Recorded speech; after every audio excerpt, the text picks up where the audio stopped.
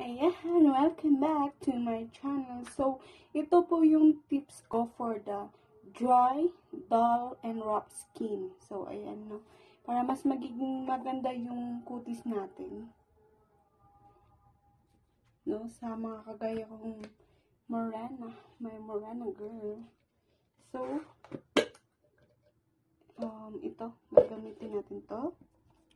Vaseline, glycosolid, and RDL papaya lotion. So, ayan. So, unang-una, nag-side ako guys kasi para, para, para churcher. so, unang-una is,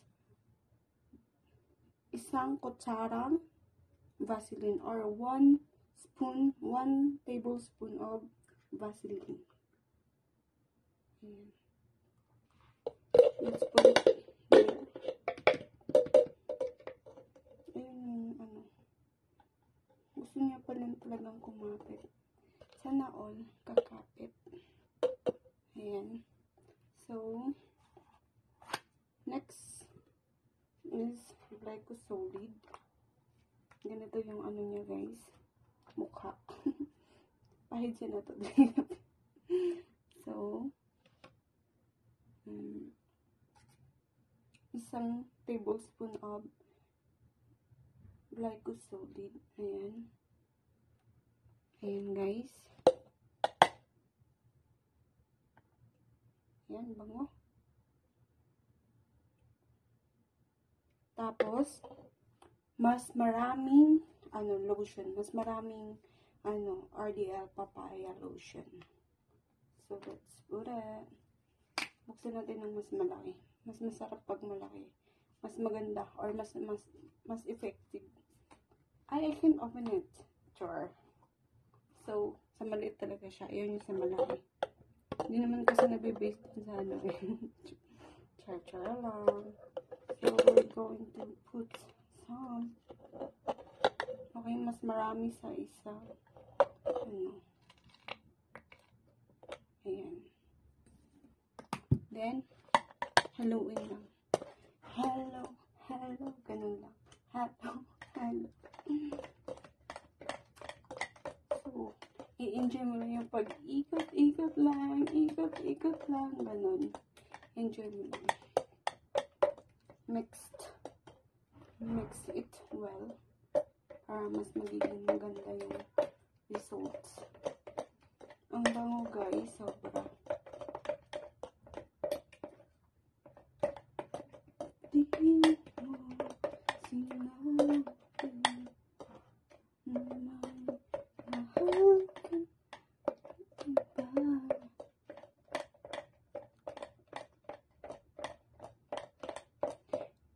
Ikot-ikot lang, ikot-ikot, ikot. No, dapat ano, may pagmamahal yung pag-mix mo. Para mas maging siya. Ayan.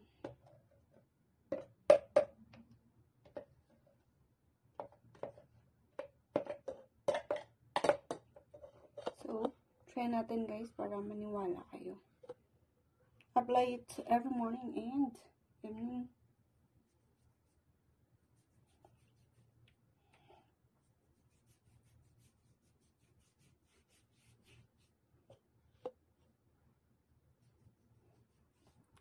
Dito ko lang lagay siya sa ano, sa baba.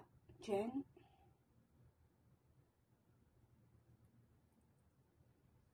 Guys, tingnan nyo.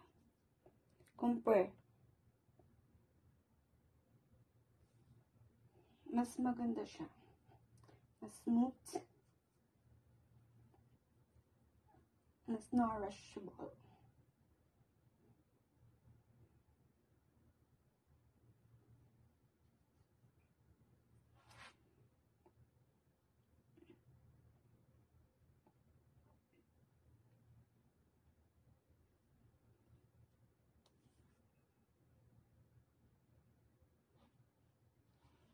Di ba?